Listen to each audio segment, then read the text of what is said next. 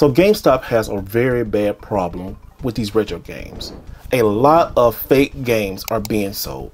Guys, I'm Mr. Wright Way, and you know I love GameStop. I love getting great deals, and I got an amazing great deal today at GameStop with Pokemon XD. And yes, this game is 100% complete. I actually got this for like $65 after the trade-ins, my GameStop Pro membership, and military discount, and walked away with a near $200 game for $65. You can find great games at GameStop, but sometimes if you're not careful, you can run into this. Let's look at this together. All right, as you see, right, guys, look at this. All these games I got here in GameStop, right? Look at that Earthworm Jim, them games on the Genesis. We don't get back to those. Which ones on this do you think? Now there goes the uh, XD that I did get right here, right? But yes, look at this Earthworm Jim 2. This right here is completely fake. Look how shiny this cartridge is, and I did drop it. But look, Look how shiny that is. That's not even the real cover. Or the, it just, it's sad, right? The real cover, or as the real sticker that goes on the game. This is a really big issue if people are going to buy retro games at GameStop. Now, I have a couple ideas of how to fix this if you're listening to GameStop because I know you guys are listening. But also too, I want you guys to make sure if you're buying games, if you're buying these retro video games at GameStop, don't get too excited. Make sure you check especially with cartridge games. Now a couple videos ago, you saw that I found these two games at Goodwill for like $3 a piece. Great games, you know, we got Mario and we got Earthbound. Go back and check those out because I open those games up and it shows you what you need to do. Before you buy games at GameStop, guys, make sure that you look it up on the internet. If you're buying a game, right, make sure you look at that cover art. Make sure it's legit. Because cover arts like the Earthworm Jim that you just saw should not be that shiny. Now over time, some games will keep that glossiness, just like this Mario game right here some games like that. But with Sega games, a lot of those are kind of like matte finished or a matte finish base. Some Sega games do have a very shiny sticker on the cart, but a lot of times it don't. And also people will sell these fake games to GameStop just to get the credit. Now, the Earthworm Jim games, let's go online and let's check these games out. All right, here we are with Earthworm Jim. As you can see, this game is $19. If you got a pro membership, it's $17. But let's jump over to let's jump over to eBay, right? I already got this pulled up. As you can see, let's look at this real big. Look at these covers. I always like the cotton covers on old school, but the artwork. $17, $18, $19. You can see this picture right here, right? Look at that. Now, let's go to this. Now, let's go to the video. You can see right here, the picture of the video it doesn't add up, right? It does not add up. Another thing, if you're trading your games into GameStop, be aware of the prices that you're going to get. We'll talk about that in a minute, but look at this. We're going over here, right?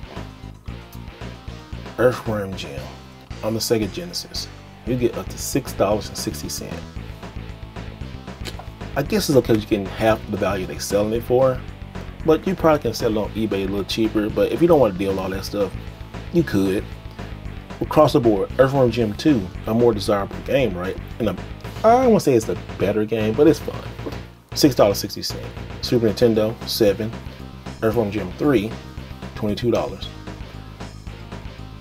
As you can see, this is kind of an issue if you don't know what you're looking for. First, you can get a fake game or people out there who are up to no good can sell a fake game and get the little bit of money that it, I don't understand why would you want to sell fake games at GameStop for like six dollars, but some people are weird.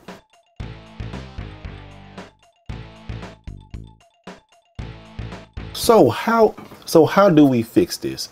I got three good reasons. My first reason is have employees that know about video games working at a video game store. Do these employees know what retro games are? I have ran across several employees, like today, didn't really even know what a GameCube game was.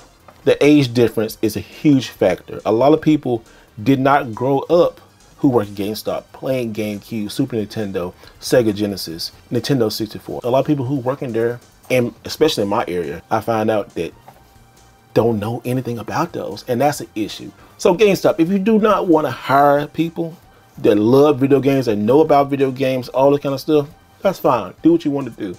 But this will help you out.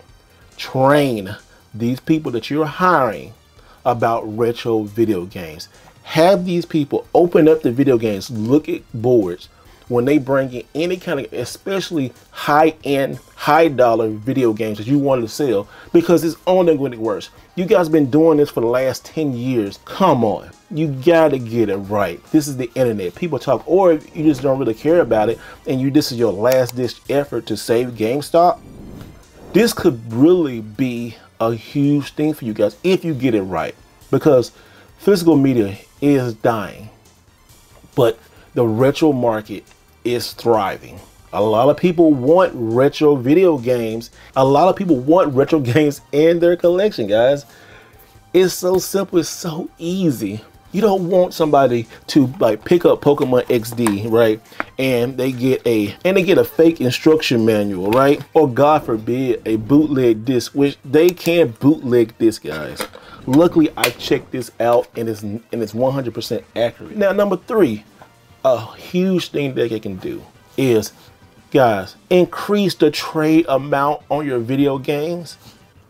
Do you know how many people trade in video games? PlayStation 1, PlayStation 2, PlayStation 3, Nintendo 64, all of these games, and they trade these games in, they get like say 25 to $30 for trading this in, maybe $50 I don't know. That'd be a little bit much. Fifty dollars for this game is be too much because it's gonna cost fifty dollars. But if you give half the amount or something like that for like pro members, don't you know how many people are signing up for a pro membership who are trading in games to get other games? But to everybody else, down in the comments below, let me know. Just tell me what other ideas for GameStop they should do? You know, I know a lot of people hate GameStop, and I know these comments are going to be on fire about GameStop doing this, GameStop doing that. But since they've been doing retro video games, I've been really going back to GameStop full time and looking for these retro games. And it's pretty cool. It's pretty fun, guys. I found a lot of good stuff. Like I said, I found Pokemon today. It's a great, great buy. But these fake games, wow. It is crazy. So, so let me know down in the comments below what you think. And guys, always remember to do it the right way. GameStop, get your stuff together. Okay? See you next time.